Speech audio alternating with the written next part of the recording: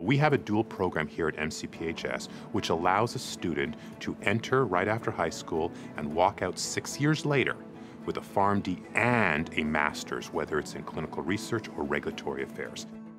During the academic school year, you would be taking pharmacy courses, and then in the summer, you would be taking additional courses that would count towards a master's degree.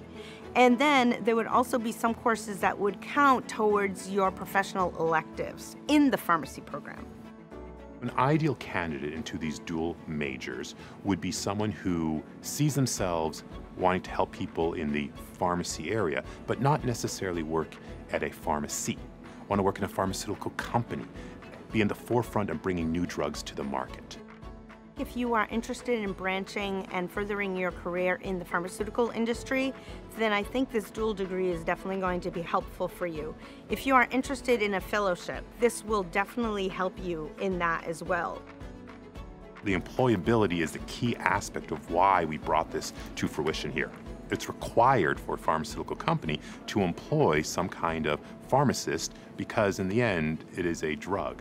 And the person that administers the drug is the pharmacist. Faculty are a lot more available not just on campus. You can set up meetings on Zoom, on Teams, etc. So that support is available there. MCPHS is in the heart of Boston, right in the Longwood medical area. The power of being here is literally we are within a rock's throw of so many biotech companies and hospitals. Just walk down the street, walk across the bridge to Cambridge, you will find a biotech company that is in need of a pharmacist for their programs.